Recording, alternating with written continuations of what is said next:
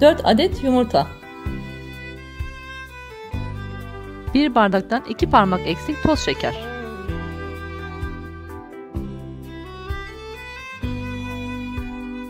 Üç yemek kaşığı buğday nişastası.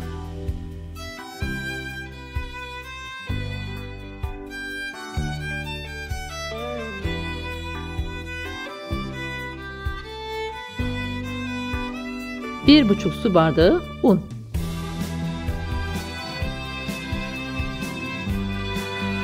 Bir paket kabartma tozu. Bir paket vanilin ilave ediyoruz.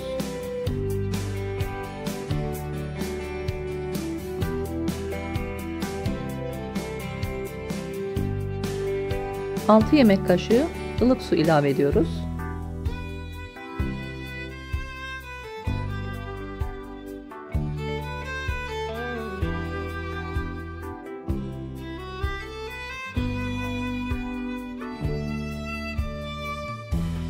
Borcamımızı iyice yağlıyoruz.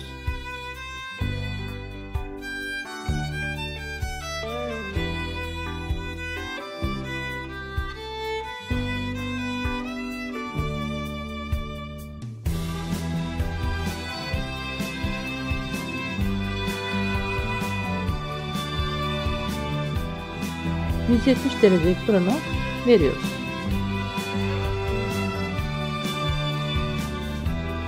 Üzerine dökeceğimiz sos için 3 su bardağı süt.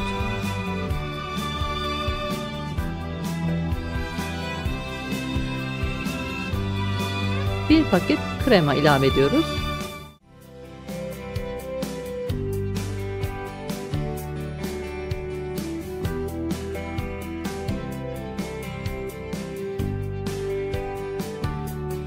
Üç yemek kaşığı şeker ilave ediyoruz.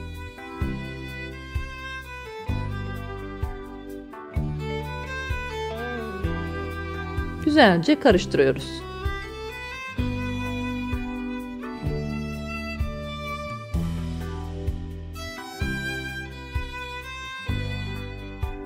Fırından çıkardığımız kekimizin üzerine sosumuzu döküyoruz.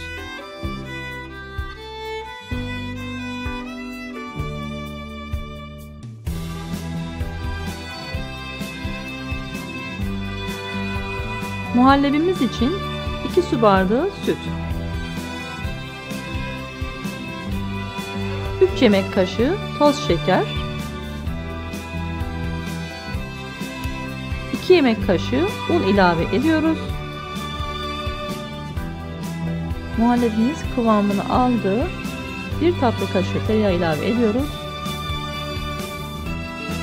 Karamel sosu için 1 su bardağı toz şeker,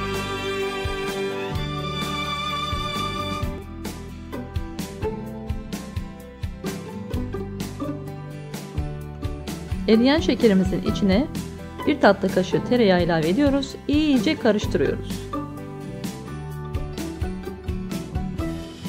Bir su bardağı sütümüzü ilave ediyoruz.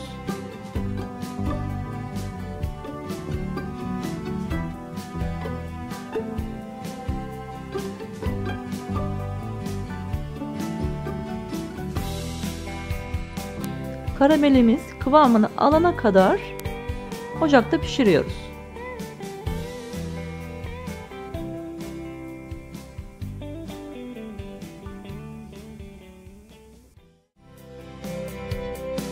Evet tirliçem oldu.